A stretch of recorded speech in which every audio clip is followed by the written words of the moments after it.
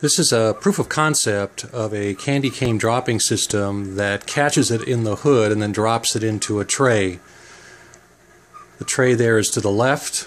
Once the tray has been dispensed, it then would look like this, which is an elevator system that would then be lowered down so the child could pick out the candy cane. It would automatically dump it out.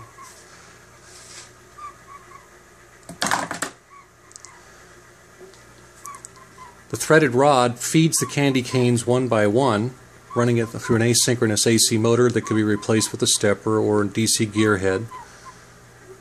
This is looking down the chute. Candy cane gets funneled and guided as it falls. I'll remove these. And as the next candy cane would drop, it deposits it right in the tray that would be between these two guy wires that hold the elevator system that would inevitably be run at the very top here with two stepper or DC motors.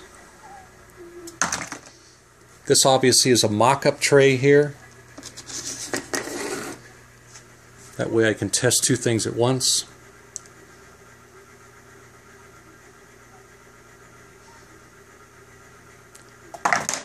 End of test.